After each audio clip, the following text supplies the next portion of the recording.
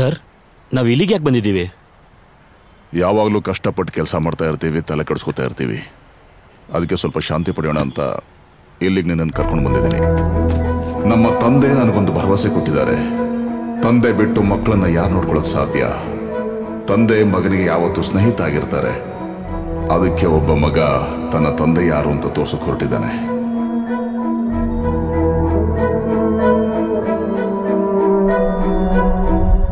ಇದು ಯಾರೋ ಹುಚ್ಚ ಬರ್ದಿದ್ದಾನೆ ಅನ್ಸುತ್ತೆ. ಈಶ್ವರ ಅನ್ನೋ ಪದನ ಬಳಸೋದೇ ಇಲ್ಲ. ಲೂಸಿಫರ್ ಅಂತ ಹೇಳ್ಬೋದು. ಸಮುದಾಯದಲ್ಲಿ ತರಲು ಆಗೋ ಸಾಧ್ಯತೆ ಇರುತ್ತೆ. ಯುದ್ಧ ಮತ್ತೆ ಆಕ್ರಮಣ ಯಾವುದೇ ಧರ್ಮ ಅಲ್ಲ. ಅಧರ್ಮ. ನಾವಿಲ್ಲಿ ನಿಮ್ಮ ಒಳ್ಳೆತನದ ಬಗ್ಗೆ ಮಾತಾಡೋದೇ ಇಲ್ಲ. ಯಾಕೆಂದ್ರೆ ಒಳ್ಳೇದೇ ನಡೀತಾ ಇರುತ್ತೆ. ಹ್ಮ್. ನಾನು ಬರ್ತೀನಿ. ಆಯ್ತು. ನಮಸ್ತೆ. ಬರ್ತೀವಿ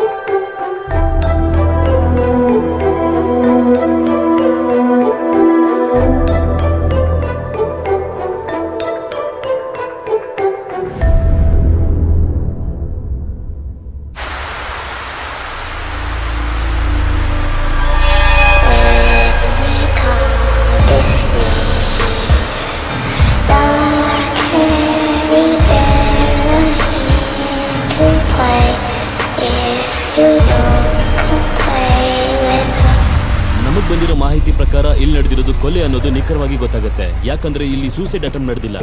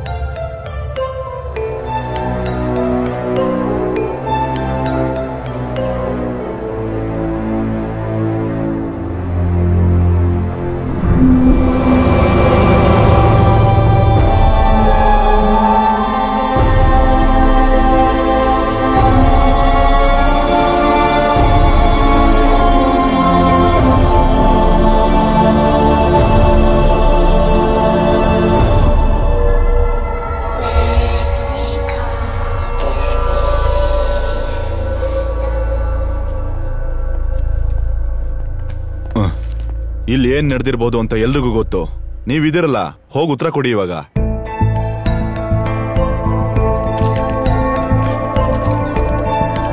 ಸರ್ ನಿಮ್ಗೆ ಕೊಲೆಗಾರನ ಬಗ್ಗೆ ಏನಾದ್ರೂ ಮಾಹಿತಿ ಅಥವಾ ಸಾಕ್ಷಿ ಸಿಕ್ಕಿದ್ಯಾ? ಈ ತರ ಘಟನೆಗಳು ನಡೀತಾನೆ ಇದೆ. ಪೊಲೀಸ್ ಅವ್ರ ಕೈಲಿ ಏನು ಮಾಡಕ್ ಆಗ್ತಾನೆ ಇಲ್ವಲ್ಲ ಸರ್? ನಿಮ್ಗೆ ಅನಿಸ್ತಿಲ್ವಾ ನಿಮ್ ಡಿಪಾರ್ಟ್ಮೆಂಟ್ ಫೇಲ್ ಆಗ್ತಿದೆ ಅಂತ? ನಮ್ಗನ್ಸೋದು ನಗರದಲ್ಲಿ ಮತ್ತೆ ಈ ರೀತಿ ಘಟನೆ ಆಗತ್ತೆ ಅಂತ. ನೀವೇನಂತೀರಾ? ಇನ್ಮೇಲೆ ಇಲ್ಲಿ ಯಾವ ಕೊಲೆನೂ ನಡೆಯಲ್ಲ. ಅದಕ್ಕೆ ಏನ್ ಗ್ಯಾರಂಟಿ ಸರ್? ನನ್ನ ತಂದೆ ಹೆಸರು ಅಬ್ರಹಾಂ. ಅದೇ ಸಾಕ್ಷಿ.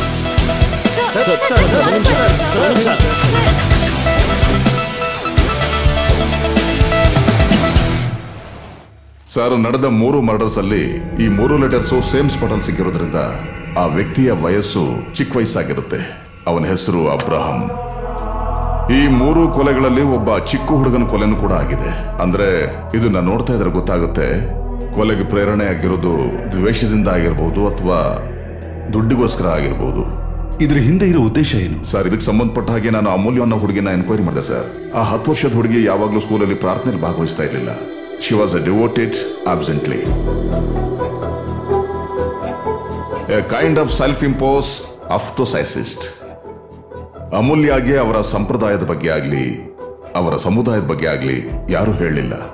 ನಾನಿದನ್ನ ಅಡ್ಮಿಷನ್ ಶೀಟಲ್ಲಿ ನೋಡಿದೆ. ಅದರಲ್ಲಿ ರಿಲಿಜನ್ ಕಾಲಂನಲ್ಲಿ ನೋ ರಿಲಿಜಿಯನ್ ಅಂತ ಬರೆದಿತ್ತು. ಆ ಸಮಯದಲ್ಲಿ ನನಗೆ ಗೊತ್ತಾಗಿದ್ದೇನೆಂದ್ರೆ ಕೊಲೆಯಾದವರೆಲ್ಲರೂ ನಾಸ್ತಿಕರಾಗಿದ್ರು. ದೇವ್ರ ಮೇಲೆ ನಂಬಿಕೆನೇ ಇರಲಿಲ್ಲ ಅವರಿಗೆ. ಸಾಧಾರಣವಾಗಿ ಕ್ರಿಶ್ಚಿಯನ್ ಮನೆಗಳಲ್ಲಿ ಪ್ರಾರ್ಥನೆ ಮಾಡೋದಕ್ಕೆ ದೇವ್ರ ಮನೆ ಇರುತ್ತೆ. ಆದ್ರೆ ಇವ್ರ ಮನೇಲಿ ಇರಲಿಲ್ಲ. ಇದರಿಂದ ಗೊತ್ತಾಗೋದೇನು ಅಂದ್ರೆ, ದೇವರ ಮೇಲೆ ತುಂಬಾ ನಂಬಿಕೆ ಇರೋನು. ಕಟ್ಟ ಭಕ್ತನಾಗಿರೋನು ಅಥವಾ ಅಂಧವಿಶ್ವಾಸಿ ಆಗಿರೋನು ಕೊಲೆ ಮಾಡಿರ್ತಾನೆ. ಈ ಅಪರಾಧಿ ಏನ್ ಆವಿಷ್ಕಾರ ಮಾಡಬೇಕು ಅಂತ ಇದ್ದಾನೋ ಅದನ್ನ ನಾವು ಆಸ್ಟ್ರೋ ಪ್ರಾಜೆಕ್ಟ್ ಅಂತ ಕರಿತೀವಿ. ಆತ್ಮನ ಬೇರೆ ಪ್ರಪಂಚಕ್ಕೆ ಕರ್ಕೊಂಡು ಹೋಗೋದು. ಈ ಕಟ್ಟ ಭಕ್ತರ ವಿಷಯ ಏನು ಅಂದ್ರೆ ತಮ್ಮೊಳಗೆ ದೇವರಿದಾನೆ ಅಂತ ಹೇಳಿ ಅನ್ಕೊಳ್ಳೋದು. ಅಡ್ಯುಲೇಷನ್ ಡಿಸಾರ್ಡರ್ ಇದೇ ಅವನಿಗೆ ತೊಂದರೆ ಅನ್ಸುತ್ತೆ. ಕೆಲವು ವರ್ಷಗಳ ಹಿಂದೆ ಕ್ಯಾಲಿಫೋರ್ನಿಯಾದಲ್ಲಿ ಚಾರ್ಲ್ಸ್ ಮೆನ್ ಅನ್ನೊಬ್ಬ ವ್ಯಕ್ತಿ ಇದ್ದ. ವಿಶ್ವಾಸಿಗಳನ್ನ ತನ್ನ ಕಂಟ್ರೋಲಲ್ಲಿ ಇಟ್ಕೊಂಡು ಕೊಲೆ ಮಾಡ್ತಿದ್ದ. ಆ ಮುಟ್ಟಾಳನಿಗೆ ತಾನೇ ದೇವರು ಅನ್ನೋ ಒಂದು ಭ್ರಾಂತಿ ಇತ್ತು. ಪ್ರಪಂಚದಲ್ಲಿ ಈ ತರ ಅಂದ ಭ್ರಾಂತಿ ಇಟ್ಕೊಂಡಿರುವಂತ ಕೆಲಸಗಳು ತುಂಬಾ ಜನ ಇದ್ದಾರೆ. ಮತ್ತೆ ಆ ನಂಬರ್ಸ್ ಬಗ್ಗೆ ಏನ್ ಹೇಳ್ತೀರಾ? ಅವನು ಕೇವಲ ಹತ್ತು ಜನನೇ ಸಾಯಿಸಬೇಕು ಅಂತ ಯಾಕೆ ಅನ್ಕೊಂಡಿದ್ದಾನೆ? ಆ ಹತ್ತು ಜನಗಳನ್ನ ಯಾಕೆ ಸಾಯಿಸ್ದ ಇವನು ಅಂತ ನಾವು ಕಂಡಿಡಬೇಕು. ಅದರಲ್ಲೂ ಒಂದು ಕ್ಲೂ ಕೂಡ ಅವನು ಎಲ್ಲೂ ಬಿಟ್ಟಿಲ್ಲ. ಅವನು ಯಾವುದೇ ಕೊಲೆ ಮಾಡಿದ್ರು ರಾತ್ರಿ ಮಳೆನಲ್ಲೇ ಮಾಡ್ತಾನೆ. ಯಾರು ಕಿರ್ಚಿದ್ರು ಹೊರಗಡೆ ಕೇಳಲ್ಲ.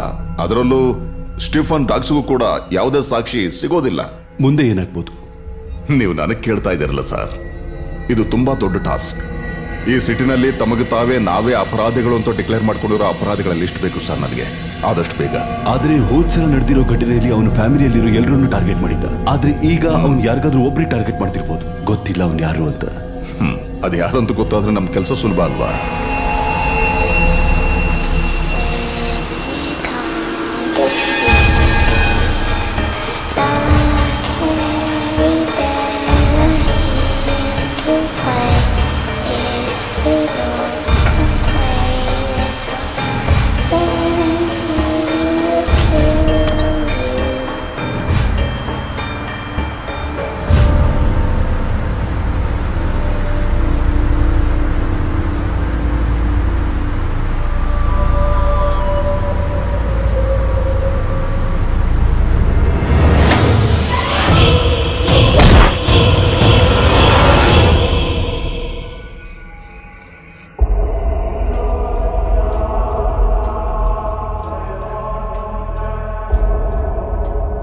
ಈಶ್ವರ ಅವತಾರದ ಮಿಸ್ಟರ್ ಸೈಮನ್ ಅವರೇ ನಿಮಗೆ ಸೂಚನೆ ಮಾಡ್ತಿರೋದು ದೇವರಲ್ಲ ದೆವ್ವಗಳು. ನಿಮ್ಮ ಬಲಿ ಪೂರ್ಣ ವೇಸ್ಟ್ ಆಗುತ್ತೆ. ಅವನ್ನ ನಿಮ್ಮ ಕೈಲಿಂದ ತಡೆಯೋದಕ್ಕೆ ಸಾಧ್ಯನೇ ಇಲ್ಲ. ಈ ಕೆಲಸ ಯಾವಾಗ ಪೂರ್ತಿ ಆಗುತ್ತೆ? How did you find me ಒಬ್ಬ ಪೊಲೀಸ್ನವನಿಗೆ ಒಬ್ಬ ಕ್ರಿಮಿನಲ್ ಕ್ವಶನ್ ಮಾಡೋ ಅವಶ್ಯಕತೆ ಇಲ್ಲ. ಇರ್ಲಿ ಇರ್ಲಿ. ನೀನು ಕೊಲೆ ಮಾಡಿರೋ ಒಬ್ಬ ವ್ಯಕ್ತಿ ಎಥಿಕ್ಸ್ನಾಗಿರಬೇಕು ಇಲ್ಲ ನಾಸ್ತಿಕ್ನಾಗಿರ್ಬೇಕು. ನಿನ್ನ ಕೈಲಿ ಕೊಲೆ ಆದವರು ಅನಾಥರಾಗಿರ್ತಾರೆ ಇಲ್ಲ ಕುಟುಂಬನ ಕಳ್ಕೊಂಡಿರೋರಾಗಿರ್ತಾರೆ. ಅವರೆಲ್ಲ ಪ್ರಪಂಚದಲ್ಲಿ ದೇವರೇ ಇಲ್ಲ ಅನ್ಕೊಂಡಿರ್ತಾರೆ. ಮಾರ್ಟಿನ್ ಅನ್ನೋ ಹತ್ತು ವರ್ಷದ ಹುಡುಗ. ನೀನು ನನಗೆ ನಂಬರ್ಗಳನ್ನು ತೋರಿಸಿ ಈ ಚಾಲೆಂಜ್ ಯಾಕೆ ಮಾಡ್ತಿದ್ದೆ? ದೇವರೇ ಗೆಲ್ಲೋದು ಅಂತ ನೇನು ಗೊತ್ತು? ಆದರೂ ಪರೀಕ್ಷೆ ಮಾಡ್ತಿದ್ಯಾ? ಎಸ್ ಸರ್ ಇವನ ಬ್ಲಡ್ ಗ್ರೂಪ್ ಮ್ಯಾಚ್ ಆಗಿದೆ. ಎ ಬಿ ನೆಗೆಟಿವ್ ಮತ್ತೆ ಇವನ್ ಬೆರಳಲ್ಲಿ ಗುರುತುಗಳು ಕೂಡ ಇದೆ ಸರ್. ಜೊತೆಗೆ ನಮ್ಗ ಚಾಕು ಕೂಡ ಸಿಕ್ಕಿದೆ ಸರ್. ಸರ್. ಸೈಮಾನ್ ತಿನ್ನೋಕೆ ಬೇಕು? ಸರ್ ನಿಮ್ಗೆ ಅನ್ಸುತ್ತಾ ನಾನು ತಲೆ ಕೆಟ್ಟಿ ಥರ ಮಾಡಿದ್ದೀನಿ ಅಂತ? ನಾನು ಮಾಡಿರೋ ಅಷ್ಟು ಕೆಲಸನೂ ದೇವ್ರಿಗೋಸ್ಕರ ಮಾಡಿರೋದು. ಅವರೆಲ್ಲರನ್ನು ದೇವ್ರ ಹತ್ರ ಕಳಿಸಿದ್ದೀನಿ. ದೇವರು ಯಾರ್ಯಾರನ್ನ ಕಳಿಸ್ಕೊಡು ಅಂತನೋ ಅವ್ರನ್ನೆಲ್ಲ ಅವ್ರ ಹತ್ರ ಕಳಿಸ್ತೀನಿ. ದೇವ್ರನ್ನೇ ಧಿಕ್ಕರಿಸಿ ಬದುಕೊಂತವ್ರಿಗೆ ಈ ಭೂಮಿ ಮೇಲೆ ಜಾಗ ಇಲ್ಲ.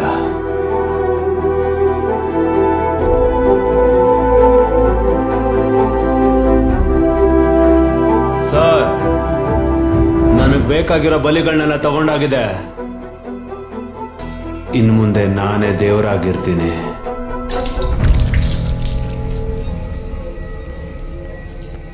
ಸರ್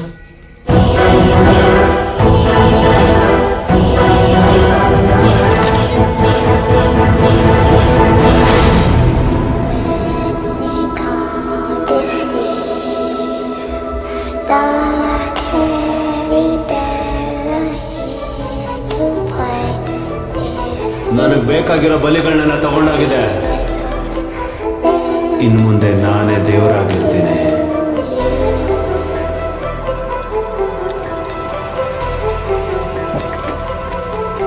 ಸರ್ ಸರ್ ಸರಣಿ ಕೊಲೆಗಳು ಆಗ್ತಾನೆ ಇದೆ. ಏನ್ ಸರ್ ಹೇಳ್ತೀರಾ ನೀವು? ಒಂದ್ ನಿಮಿಷ ನಿಂತ್ಕೊಳ್ಳಿ. ಏನಾದ್ರು ಹೇಳಿ ಸರ್.